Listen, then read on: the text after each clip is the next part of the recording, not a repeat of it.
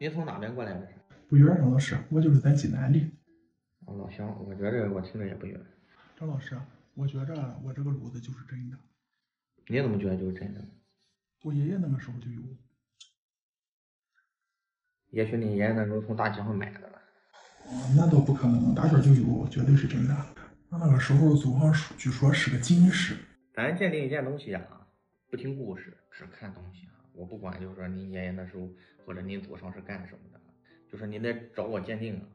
就说万一是假的，您心里能接受？您放心，能接受。我说万一是假的呢？不可能，绝对是真的。那您知道绝对是真的呢，你还来找我鉴定干啥？哦，是这样的，我朋友想要，他是你粉丝，说是您看过以后再要。我这正好有也录着视频吧，拿回去让他看看。张老师，这个炉子一定是真的，在我家已经很多年了。咱不听那个哈，我基本上大体也看明白了啊。那我给您一个结果啊，如果是万一是假的啊，或者是任何结果，心里啊不舒服或者接受不了，我宁愿就说咱不去做这个鉴定，能接受吗？能接受。经我鉴定，恭喜，真的。我吓死了 有时候我们鉴定一件东西很什么，其实啊，您来了啊，如果是假的，我可能就不说了。我说这东西挺好，你留着吧。你说你好好留着这东西什么？他可能真当好东西了，我还不能不说。所以说这个点儿很矛盾，你知道吗？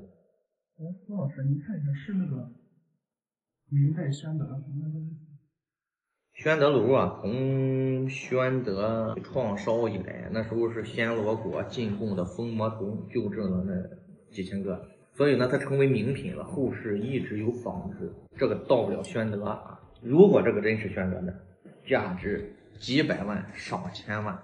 这个东西是什么时候？清代大约雍正时期的。你怎么知道是雍正的？这个其实马未都马老曾经讲过啊，我跟你大姐讲，说历史没有真相，只残存一个道理。就说我们对于没有载于史册的、没有确切文字记载的，只是一个大体的估计。那怎么去估计呢？包浆、皮壳、形制、形状、线条、铜质、铸造工艺啊、款式、磨损的痕迹，缺一不可。那么综合来看呢，这差不多就是一个雍正左右的。为什么说啊确定的这么细致呢？这里边是有个说法的。一般清早期的炉子呢，重心你看嘛，重心都比较靠下，而且呢。这个在故宫里有一个同款，这个重耳炉几乎跟它一模一样，包浆还没有它好啊。一些缮刻大清雍正年制，因为那个时候有写本朝款的，有写宣德的款的。第一呢，形状符合雍正时期的形状；第二呢，手头相对轻薄精炼，是因为雍正时候那时候禁铜。在《清史录》里有记载，雍正四年，雍正下了一道圣旨的禁铜令，说什么呢？说啊。黄铜器皿，除三品以上官员准用；民间乐器、天平、砝码等子及五斤以下元敬不进外，其余各文武官员、军民所有黄铜器皿，三年以内悉交官领价。收藏私造者，按例治罪。那么雍正那个时候呢，极度的缺铜，你想想那时候有多珍贵吧？所以说这个东西级别啊，非常非常高。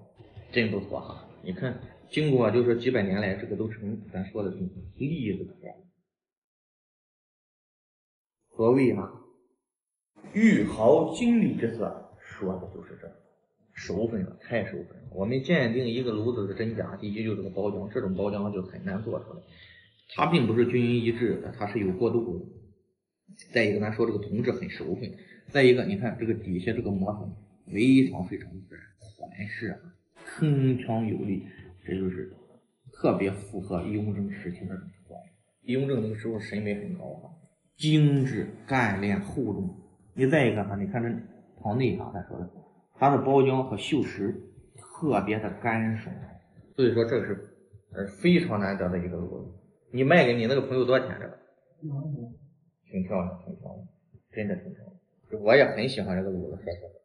我不夺人所好了。如果说他要是说，老师你讲的太专业了。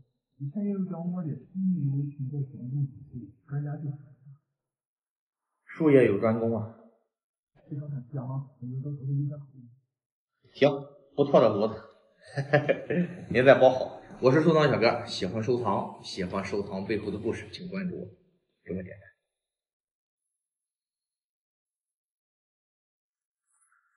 这都有落牌。这东西在我家待了四十年了，啊，在市里从经一路收来的，经济路的大一路下的。我开通当着我那儿子开开干推前，推经济路的时候，那时候开拖拉机的，我光玩玩汽车玩了二十六年，玩农用车。哎呦，有有来问过的，咱你能出多少钱的？多少钱你能要着？别别打了，四骏图，嗯，多少钱你能要着？哎你别这六个字儿啊能值十万，这四匹马，一匹马值十万。你咋的你你就多你多少钱能有？我是我手里有数，我说的得倒带的话嗯，那你这个是现代的了，现代的，在我手里待四十年了。我能出五块钱，啊，有出有出价的这个。这这不行。这都是印花的，都是印的，那就你说叫仿品仿品，这标准仿品。啊？行行行，那我我还得留着。大哥，你也别什么，就是我收这藏这个这没什么，收藏的。你看这个这个经营路也，农这市里有这样的，有都有那个地方，你别难过哈。你没没这回事。其实有些时候就是这样，收藏啊，啊，有些时候是我们无法去理解呀、无法去想象的哈。有觉着很值钱的未必值钱，觉着不值钱的未必不值钱，那需要啊我们专业的知识、专业的眼光啊、专业的素质去支撑。我收藏小哥喜欢收藏，喜欢收藏背后的故事，请关注我，给我点赞。给大哥点赞，心态挺好。我怕什么？我怕一说你再哎，追求不住没这没事。没事。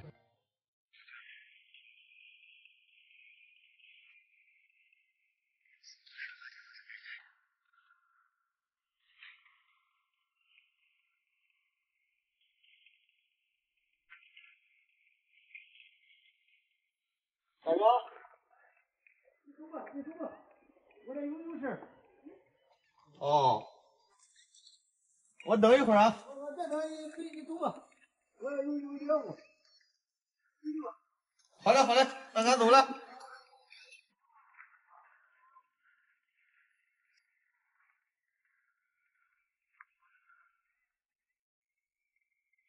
大哥真牛啊！那走吧，你看不见。有时候收藏就这样，挺有乐趣的，也有好奇心。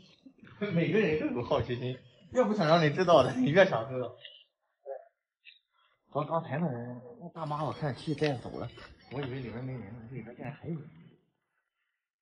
回去看一下吧，不打扰他的好事，君子成人之美。